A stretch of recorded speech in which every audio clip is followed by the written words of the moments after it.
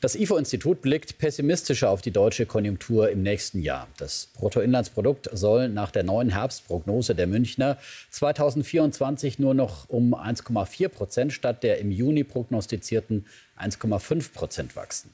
Auch auf 2023 blicken die Forscher mit Sorge und bestätigen ihre Einschätzung, dass die Wirtschaft um 0,4 Prozent schrumpft. Laut Prognose dürfte die Inflation in diesem Jahr mit 6 Prozent vorerst hoch bleiben. Dann werde die Jahresteuerung aber spürbar nachlassen und 2024 bei 2,6 Prozent liegen. Und dazu begrüße ich Professor Andreas Peichel, den Leiter des IFO-Zentrums für Makroökonomik. Herr Peichel, Sie sind für die deutsche Konjunktur wieder ein Tick pessimistischer. Was sind die Gründe dafür? Ja, es gibt eine ganze Reihe von ähm, Gründen. Ähm, die positive Nachricht vielleicht zunächst mal, es liegt nicht am äh, Inlandskonsum. Ähm, bei den Haushalten, da erwarten wir auch, dass es besser wird. Die negativen Nachrichten kommen im Wesentlichen aus der Industrie, die Baubranche, da sieht es nicht sehr gut aus, die chemische Industrie, da sieht es nicht sehr gut aus. Die Gründe äh, sind vielfältig. Ähm, Sie haben es ja im Beitrag auch schon gesagt oder gesehen, die Weltkonjunktur insgesamt hat sich abgekühlt. Das merken wir als Exportnation natürlich auch. Und wir haben auch einige Probleme im Inland. Ähm, wir haben hohe Energiepreise, wir haben ähm, Arbeitskräfte, Fachkräftemangel. Und das alles äh, belastet die Industrieproduktion sehr stark.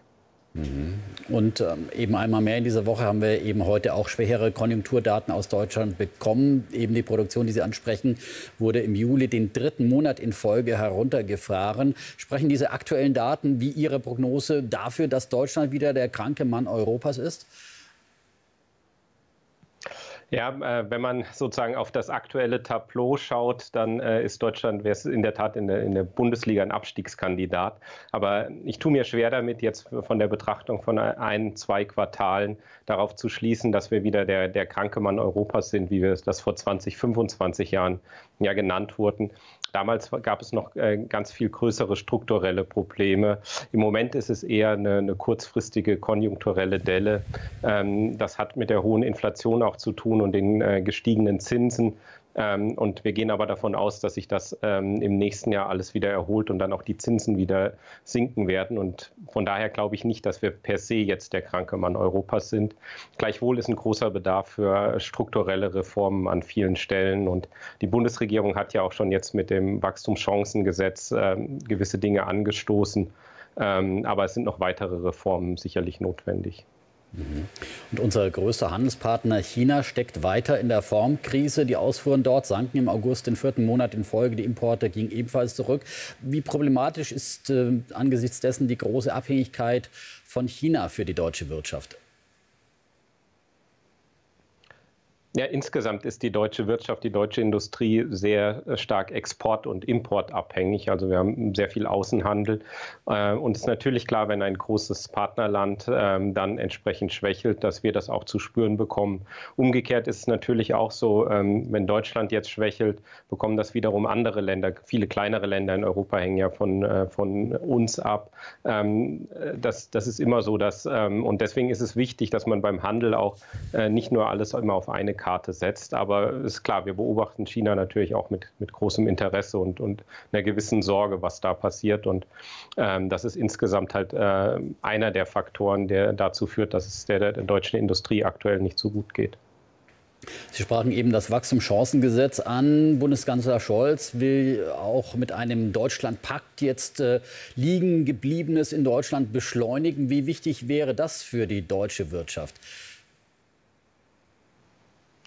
Ja, insgesamt in diesem Zehn-Punkte-Plan und im, in dem Deutschlandpakt, da, da stehen viele ähm, Buzzwords drin, die sich sehr gut anhören. Also das Ganze auch äh, um, rund um Bürokratieabbau, Digitalisierung, Verfahren beschleunigen, Genehmigungen, Planungen und so weiter, Projekte angehen.